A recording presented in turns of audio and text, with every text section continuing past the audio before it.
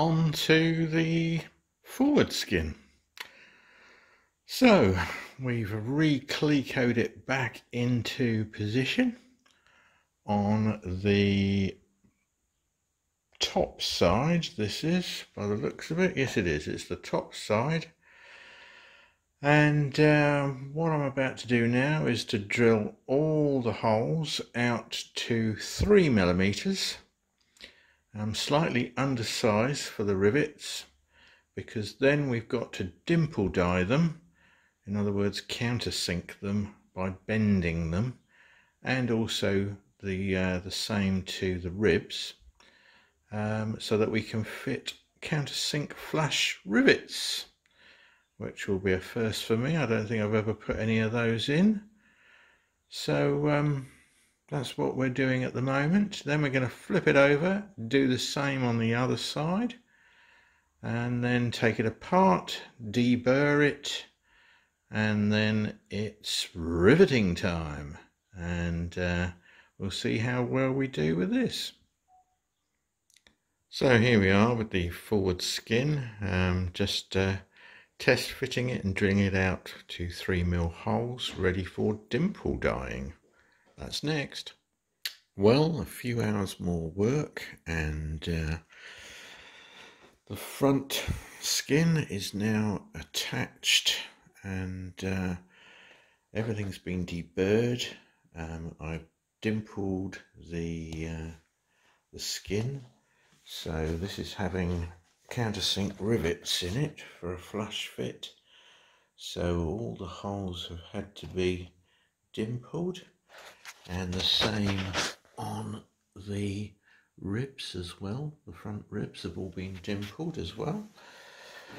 And uh, to do that, I've used a little dimple die, a very simple device, um, which uh, basically uh, goes either side of the metal and the uh, nail goes through the middle and into a hand operated rivet gun and you basically squeeze the handle on the rivet gun and it pulls the two halves together and creates a dimple a bit like that.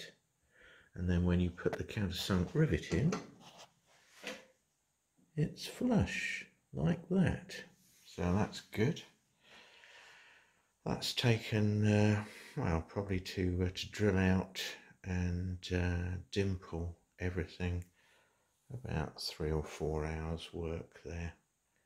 Um, so next thing to do is I've got the uh, standard rivets in on the top ready to go tomorrow morning. So we're going to rivet along the top edge and then work our way from there to the front with the countersink rivets and then we'll flip it over and do the other side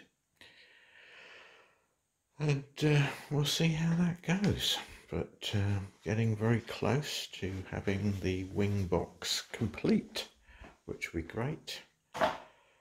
Um, so I'll let you know what happens tomorrow. So I've um, fitted one side of the forward skin. That's been uh, fully riveted and I'm quite pleased with the uh, with the results. The rivets are all set down nicely. We've got no gaps. Everything's good all the way along. Checked every single rivet and they are all good. Um, so now just put the pitot tubes in. Don't know how long to cut them to, so I'm just going to leave it in a loop and uh, cut them to length afterwards. Um, make sure there's enough there. I'll stick a tie wrap at either end just to hold them together so they don't move and get pulled out.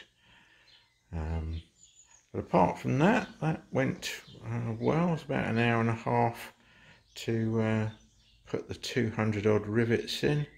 There's 104, I think it is, across the uh, the actual main spar on the bottom side and uh, 90 odd in the uh, ribs. Um, but uh, so far so good. And uh, now we've got to put the ties round and pull the skin back onto the top of the wing and uh, do this side, which I'm sure is going to be much harder. Anyway, there we go, one wow. side. For the first time, it actually is starting to look like a wing. We've got the uh, top side pulled over, uh, went back in line perfectly. All the holes have lined up. All the clecos have just gone straight back in their holes. I'm quite pleased with that. Um, the copper clecos possibly aren't quite strong enough to uh, to hold the skin down on the rib where the main bend is. Um, but uh, we'll have to keep an eye on that. It's not looking too bad from here. It's holding its shape quite well and it's touching where all the um, clecos are which is good. So I'm going to load up with the top rivets. They're the standard blind rivets rivets and uh, got 104 of those to put in so I'll be a little while. And when I've done those we'll look at putting in the countersink ones on the leading edge. Okay.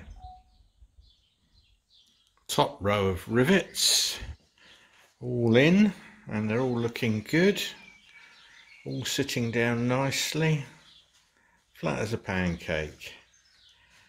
And I've just put in the first row of countersink dimpled rivets across the top as well and about to put in the second row. Um, you can see the dimpled rivet. There and there's the next one ready to go.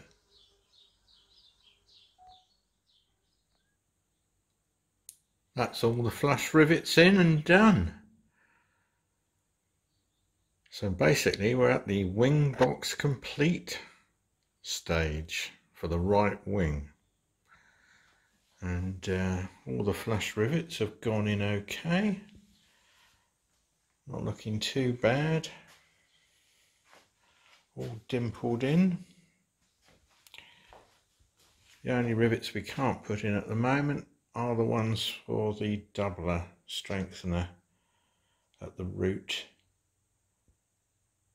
which can only be done when we actually fit the wing to the fuselage. So that's a while off yet.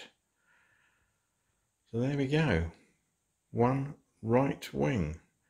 Just have the uh, aileron and flap to make to go on the back end and also fit the wingtip.